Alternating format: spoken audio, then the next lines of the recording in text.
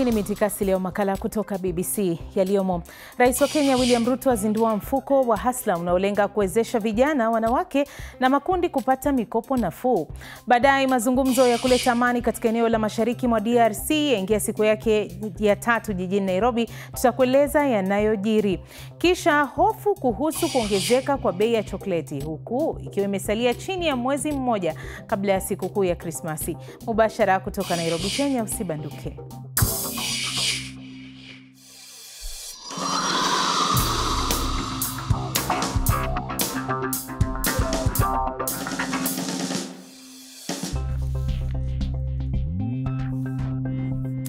Karibu katika habari za biashara zinazokuhusu uchambuzi wa kina na mahojiano. Jina langu mie ni Hamida Abubakar.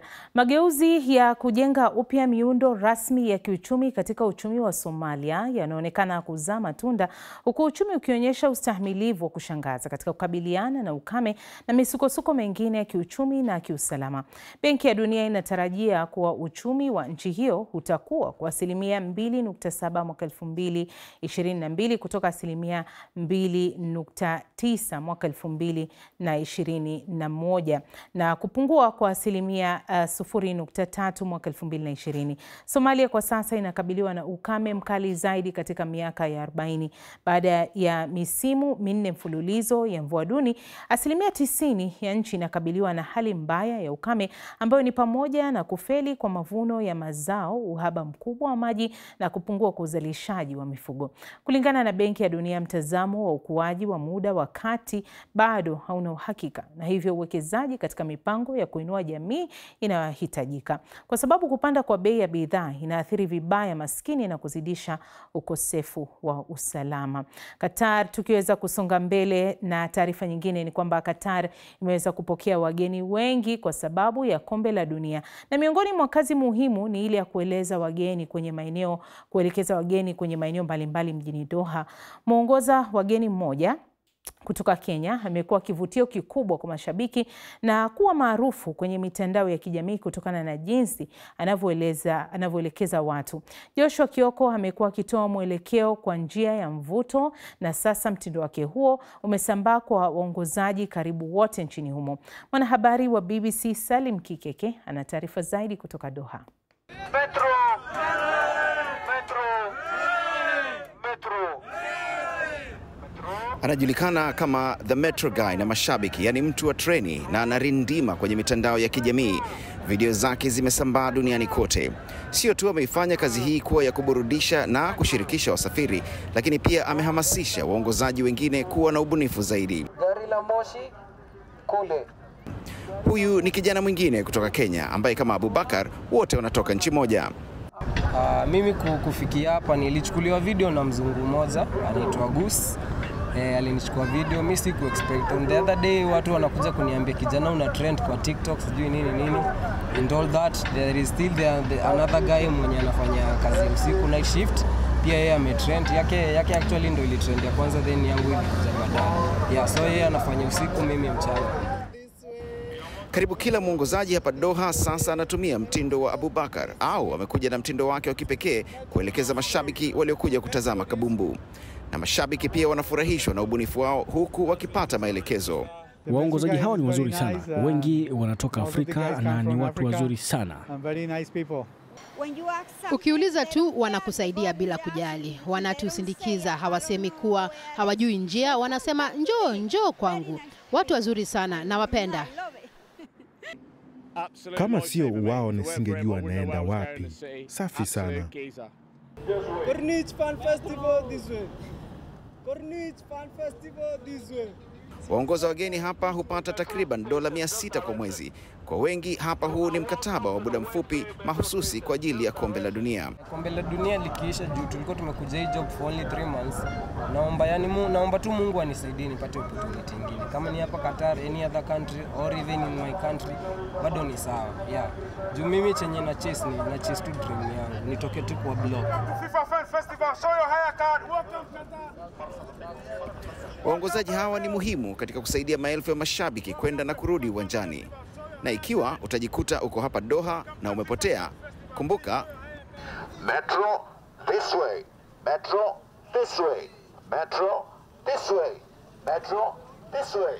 Salim Kikeke, Dira ya Dunia, BBC, Doha. Metro, this way. Nam, kwa sasa tutupie macho taarifa zingine za biashara kutoka barani Afrika na kimataifa. Sherehe zimetanda katika mji mkuu wa Senegal, Dakar, baada ya timu ya taifa ya kandanda ya wanaume kufuzu na kuingia katika hatua ya mwondoano ya kombe la dunia kwa mara ya pili katika historia ya nchi hiyo. Senegal ilishinda Ecuador mabao mawili kwa moja Jumanne usiku na kumaliza katika nafasi ya pili katika kundi la A. Rais wa Kenya William Ruto amezindua mfuko wa Hasla ambao unalenga kuwezesha vijana, wanawake na makundi yaliyotengwa kupata mikopo nafuu pamoja na kuwe, kuwekeza na kuweka akiba. Ruto aliahidi wakati wa kampeni kuwa serikali yake ina ingetenga dola milioni mia nne kila mwaka kwa mpango huu ili kuweza kutatua changamoto za ukosefu wa ajira na pia nafasi kwa vijana. Mazungumzo ya kuleta amani katika eneo la mashariki mwa Jamhuri ya Kidemokrasia ya Kongo yameingia siku yake ya tatu jijini Nairobi, huku rais wa zamani wa Kenya Uhuru Kenyatta akihutubia wahusika. Kenyatta amesema ana imani ya kupatikana kwa suluhu ya kudumu kwa mzozo huo huku akipongeza makundi yaliyositisha mapigano. Aidha, amekaribisha wawakilishi wa makundi ambayo yameshiriki mazungumzo hayo kwa mara ya kwanza. Hii ni Mitikasi leo kutoka BBC tutakayoangazia hivi punde hofu kuhusu kuongezeka kwa bei ya chokleti huku sikukuu ya Krismasi ikikaribia.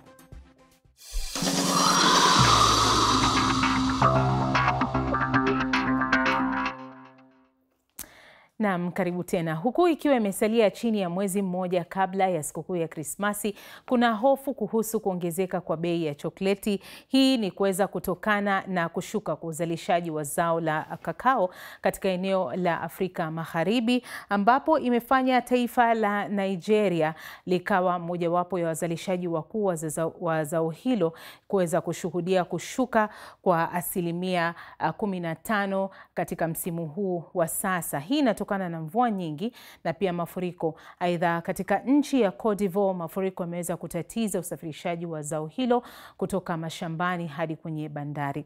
Hii imesababisha kushuka kwa asilimia ishirini na tatu ya zao hilo kwa mujibu wa shirika la kimataifa la kakao. Huku hayo yakiweza kujiri, ni kwamba Ghana ambayo inaongoza duniani katika uzalishaji wa kakao imeshuhudia mvua kubwa kuliko kawaida na wakulima wanahofia kwamba huenda hii pia ikaweza kuathiri mazao. Wataalam wanasema kutokana na hali ya sasa, huenda sekta ya chokleti ikaweza kushuhudia msukosuko katika miezi ijayo. Tukiweza kusonga mbele na taarifa nyingine, ni kwamba watoto wanaonyonyeshwa kikamilifu hadi miezi sita imefikia asilimia thelathini tu nchini Nigeria, kulingana na shirika la afya duniani. Kunyonyesha kumeweza kuthibitishwa kuwa na faida kwa afya ya mtoto kwa muda mrefu na sasa hifadhi ya kwanza ya maziwa ya mama imetengenezwa nchini Nigeria. Elizabeth Kazibure ana maelezo zaidi. Lilian Obinwanne ni mama aliyetoka kujifungua. Mtoto wake ana miezi miwili tu. Alikuwa anachangia maziwa yake ya ziada katika kundi la jamii lililokuwa linakusanya maziwa na sasa anachangia kwa kituo cha kwanza cha maziwa ya mama nchini Nigeria katika mji mkuu Lagos.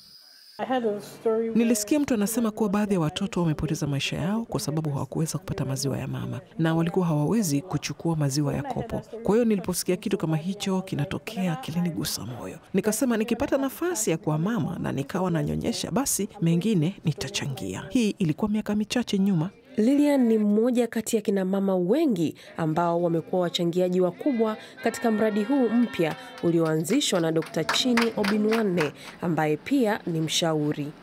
Ilikuwa ni changamoto aliyoipitia mwenyewe iliyomfanya kuanzisha mradi huu akiwa mwenyewe ndiye mfadhili na kuuita Milk Bank Nigeria.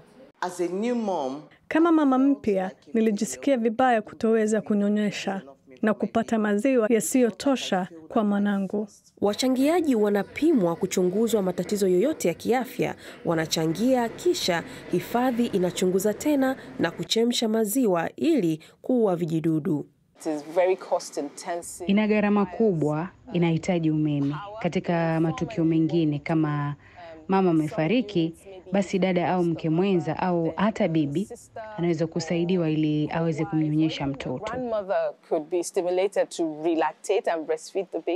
Shirika la Afya Duniani WHO linashauri ni salama watoto kunyonyeshwa hadi wakitimiza miaka miwili kwa sababu maziwa ya mama ni salama, masafi na yana kinga mwili ambazo husaidia kulinda dhidi ya magonjwa mengi ya utotoni. Naam, wadau wa riadha nchini Kenya wanasubiri kujua hatima yao kimataifa wakati shirika la riadha duniani litakapokamilisha kikao chake cha siku tatu Jumatano hii mjini Roma, Italia. Wiki iliyopita waziri wa michezo Ababu Namwamba aliomba shirika hilo kutoipiga Kenya marufuku kwa kuwa serikali itawekeza zaidi katika kuelimisha wadau wa riadha kuhusu ukiukwaji wa sheria za dawa zilizopigwa marufuku michezoni. Mwandishi wa BBC uh, katika kitengo cha michezo lin Washira amefika mjini Iten, magharibi mwa Kenya kujua wanariadha wanafuatilia vipi suala hili. Kenya imeshuhudia ongezeko la wanariadha waliopigwa marufuku kushiriki michezo kufuatia utumizi wa dawa za kusisimua misuli. Wanariadha hamsini na watano wamepigwa marufuku kufikia sasa hivi, kumi na saba kutoka mwaka huu pekee. Tuko katika mji wa Iten wanapofanya mazoezi wanariadha wengi tajika wa Kenya kufahamu hali ilivyo. Tumestuka kwa sababu tumeona kuna makantri wengine amefanyiwa hivyo, amepaniwa so lakini matumaini yetu tuna, tunaomba isikuwe hivyo. Ikifanyika hivyo Ubuja tuwezi sema saa hii, lakini itaharibu, itakuwa na piko mingi sana. Tuko na wasiwasi kwanza sana, sababu kama uh, maisha yetu uh, tunategemea riadha, wageni na kila kitu. Iten kwanza, jina Iten imejulikana sababu ya riadha. Ukisikia kuna kuna ban tunatarajia, hatujui, kuna hofu, hatujui maisha itakuwaje. Sipoa Kenya yote akali ipaniwe, lakini wale wenye wamepatikana wapatiwe hatua kali, ndio watu wengine wakiwali wajifunze kutoka kwao. Na iwapo ilikupita, kampuni ya Meta inayomiliki Facebook, Instagram na WhatsApp imetozwa faini ya karibia dola 300 na tume ya ulinzi wa data nchini Ireland. Faini hiyo imetokana na ukiukaji wa sera ambapo taarifa au data mamilioni ya watu wanaotumia Facebook iliweza kuchapishwa mitandaoni bila ridhaa yao. Mwimbaji maarufu wa nyimbo za rap Ye maarufu kama Kanye West alilazimika kumlipa mtalaka wake Kim Kardashian dola elfu mia mbili kila mwezi kuwalea watoto wake katika makubaliano ya talaka. Wawili hao watawalea watoto wao wanne pamoja. Haya yanajiri wiki chache tu baada ya kampuni kadhaa kukataa uhusiano na Ye kutokana na maoni yake yanayoonekana kuwa ya chuki. Mwisho wa mitikasi kutoka BBC. Jina langu ni Hamida Abubakar, hadi wakati mwingine, kwa heri.